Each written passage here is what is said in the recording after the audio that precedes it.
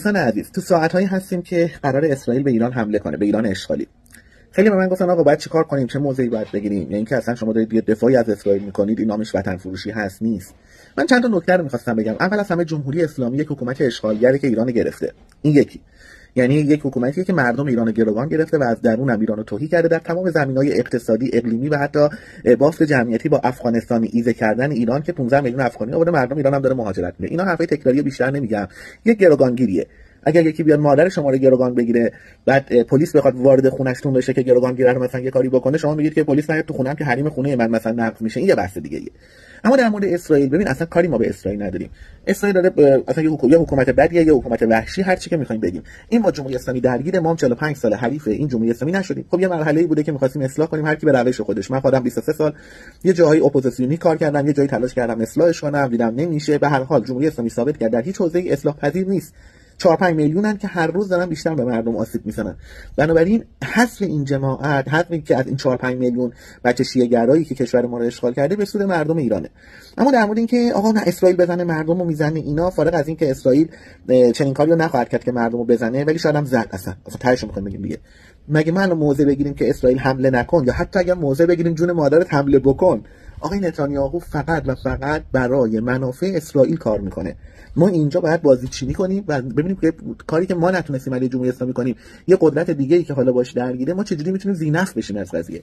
الان من کمپین بزنم جون مادرت نتانیاهو حمله کن یا جون مادرت حمله نکن. تأثیری نمی‌ذاری. تنها تأثیری که ما می‌تونیم بذاریم اینه که یک صدای بلندی در دوستی با مردم اسرائیل ایجاد کنیم که اگر نتانیاهو حمله ای کرد در حقیقت مناطق مسکونی رو نزنه. بذارید یه مثالی بزنم. صدای مردم غزه همه پشت حماس بود. آقای نتانیاهو وقتی که خواست غزه رو بزنه اونجا رو با عقده زدن. مناطق مسکونی رو کامل با خاک یکسان کردن. اما در مورد بیروت یک چنین چیزی نیست. در مورد بیروت زاهیه بیروت که شیعه, شیعه گرایان هوادار حزب الله هست اونجا رو با عقده می‌زنه. اما در مناطق مسیحی نشینی تا الان حتی یک موشک نزده فقط یک ساختمون یک طبقه ای که دو تا تروریست بودن تو منطقه مسیحی یک مرتبه. اونم نه کل ساختمون فقط اون طبقه. یعنی اصلا کاری به مناطق مسیحی نشینی بیروت نداره. یا مناطقی که در خود بیروت دارم در خود بیروت میگم. مناطقی که بعضا شاید حتی هوادار آقای نتانیاهو باشن یا هوادار ارتباط با اسرائیل باشن یک موشک نرفته و خود بیروت رو با عقده بمباران نمی‌کنه. فقط منطقه زاهیه بیروت که به مانند مثلا میگم تهران رو در نظر بگیریم مثلا میشه ورامی. مثلا داره ورامین بیروت رو می‌زنه که تو اون ورامین بیروت که میشه زاهیه بیروت تماما شیعه گرایای تندرو هوادار حزب الله هستن.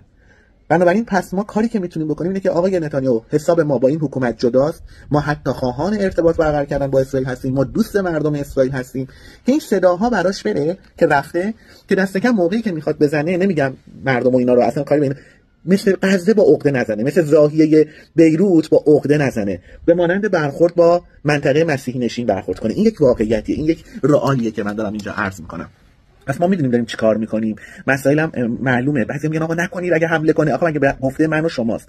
اون در راستای منافع ملیش کار می‌کنه. این هم حکومت اشغالگر ما بوده که رفته دور تا دور او به عنوان یک منبع گسیل داده تروریستا رو و فرستاده گروه نیابتی تروریست رو براش دور تا دور کشورش ایجاد کرده. اون بعد در راستای منافع خودش کار کنه.